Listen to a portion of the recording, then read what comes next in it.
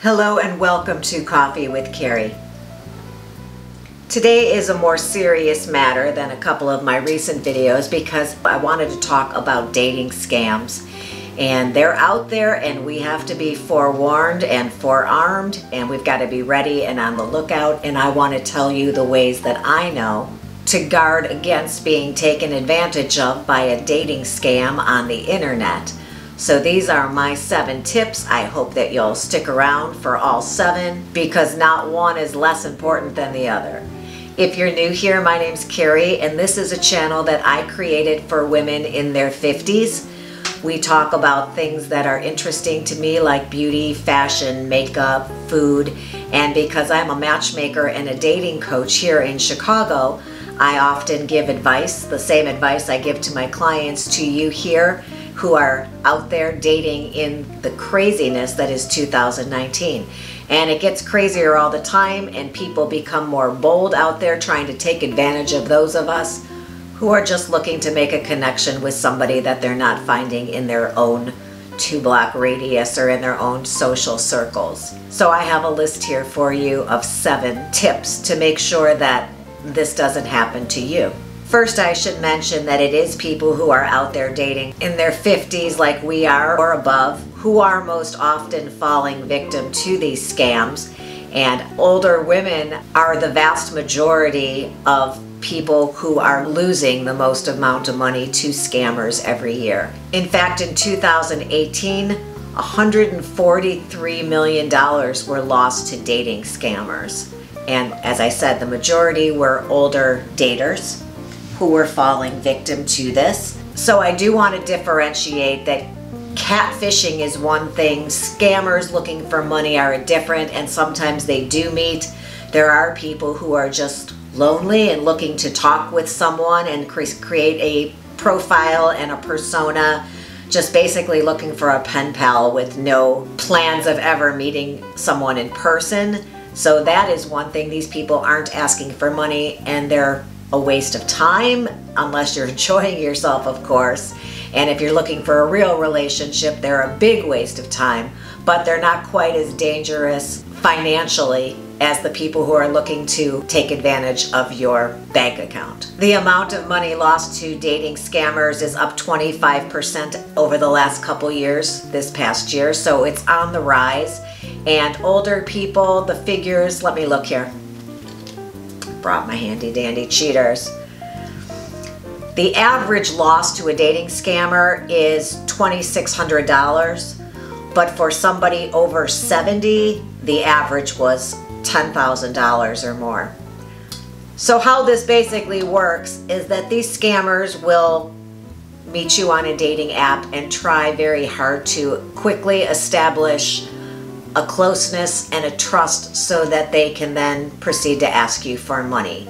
And the first thing, number one, that you need to be on the lookout for is somebody who is very, very free flowing with compliments.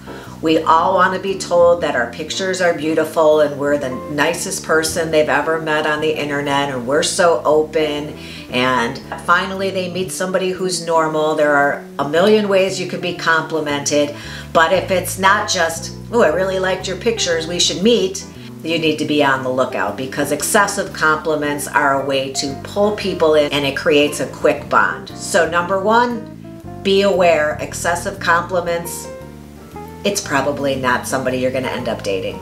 Number two is talking to somebody that is not in your immediate neighborhood. We have parameters we can set on all these dating apps so that we're talking to people within 15 miles or 25, 35, 50. If this person is matching with you but telling you that they're out of the country or out of your state, this is a telltale sign that they're not really who they say they are. This is a standard scammer move. So don't bother talking to, creating a relationship, or wasting your time on anybody who isn't living nearby you and talking about getting together really quickly. In fact, I tell my clients, you need to be getting on the phone, having a phone conversation or a FaceTime call within a day or two, and you need to be out there on a date within a week. And if it's dragging on longer than that, this person isn't serious about meeting someone and having a relationship.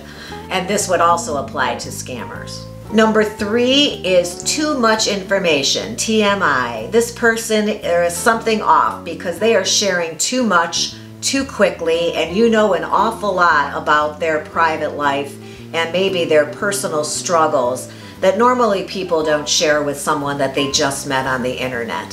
So if you're hearing about some financial woes or family issues, this is a clear sign that this person is not going to end up being your next romantic relationship. They're probably looking for something else and it's in your wallet. And if you should find yourself midway through some type of a growing connection with somebody and they ask you for private photos, and you know what I'm talking about, and you're feeling they've been so complimentary, they think I'm beautiful, they really do just want to see what I look like without part of my clothing on.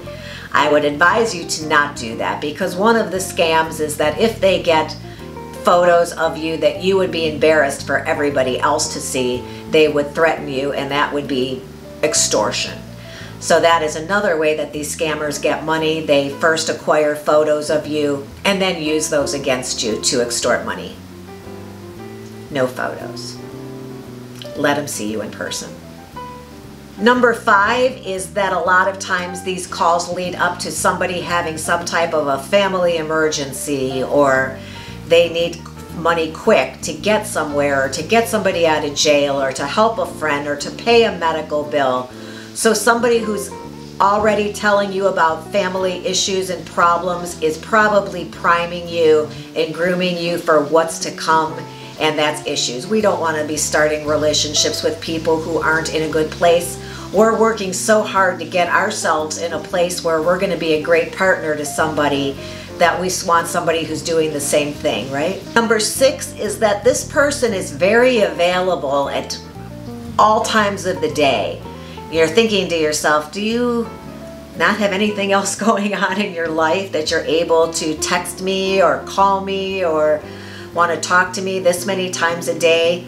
And this per you are this person's job. They are wooing you to create a false relationship so that eventually they have your trust and they can take advantage of that trust. If somebody is available all the time and creating contact with you throughout the day, morning, noon, and night, be aware that this is not headed where you think it is. And number seven is their photos. And you can check somebody's photos. You can save their photo to your desktop and then drag it into a Google search and do an image search. And if it shows up elsewhere on other sites, very often it'll show up with other names. You will know that that is not a real picture. And speaking of pictures, if this person looks like a model, this person looks like all their photos are just them and they're modeling type photos, professional pictures, and it seems too good to be true that this person so attractive is falling for you so quickly without knowing anything about you. We're dealing with a scammer. A lot of times these scammers will steal professional photos from somewhere else. They'll be somebody's modeling pictures and the person in the photos has no idea that their photos are being used as your mother always told you, if it seems too good to be true, it probably is.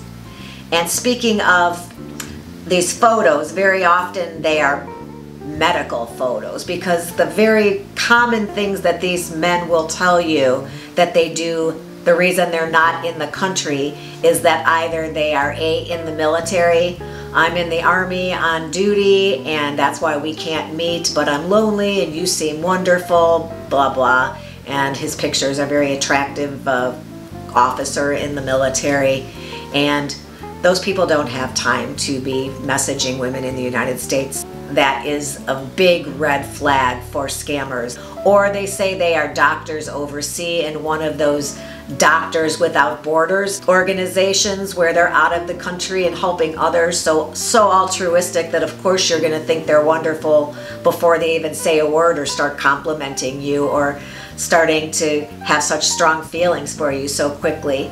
And I think the um, oil rig, I had to sneak a peek.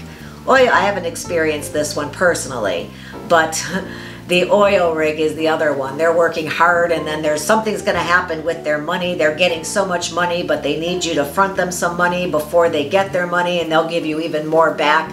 Part of another scam. So try to avoid anybody, as I said originally, who's out of the country. One of the telltale signs that this is starting off on the wrong foot is when you start messaging somebody and they are immediately trying to get you off the app that you met them on.